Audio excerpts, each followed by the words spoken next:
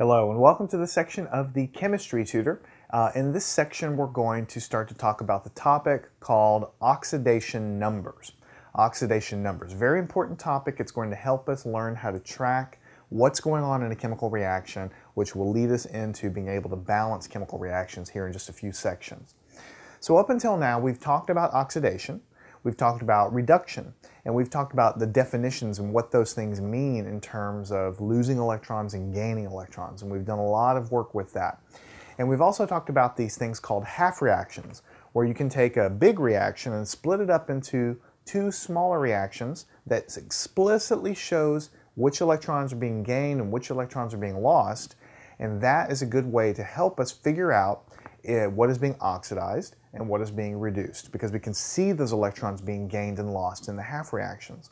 So we're kind of building our understanding up a little bit each time. Now we're going to talk about the concept of oxidation numbers. Now the big picture for what an oxidation number is useful for, big picture, is it basically lets us track electron transfer in a chemical reaction. And because it lets us track electron transfer, it basically is a way for us to tell what's being oxidized and what's being reduced in a reaction. So again, we've done a lot of this stuff before with the half reactions. We busted the reaction up into two, two uh, pieces, looking at the electrons being gained and lost, and that tells us what's being oxidized and what's being reduced. The oxidation numbers is a way to get the same information. It lets us track the uh, electron transfer and it lets us figure out what's being oxidized and what's being reduced, but we don't have to write any half reactions uh, on our paper. So we can have one big reaction written on a piece of paper, we can assign oxidation numbers to everything in that reaction, and just by looking at the numbers, we can figure out basically what's being oxidized and what's being reduced. So the big picture roadmap for this section is, I'm going to explain what an oxidation number is to you briefly, and then what we're going to do is write uh, there's a little bit of a process to, to find the oxidation number. It's not hard, but I need to write some rules down on the board.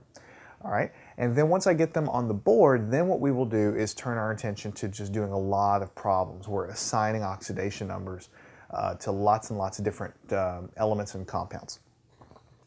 So an oxidation number is a number that you assign to the elements in a compound or to the elements in a polyatomic ion or or some assemblage of, of atoms and, uh, and elements like that. It's a number that you assign to those, those pieces there that basically represents the charge that's held by that, by that piece. So if you have sodium chloride, there's two things in there. There's sodium and there's chlorine.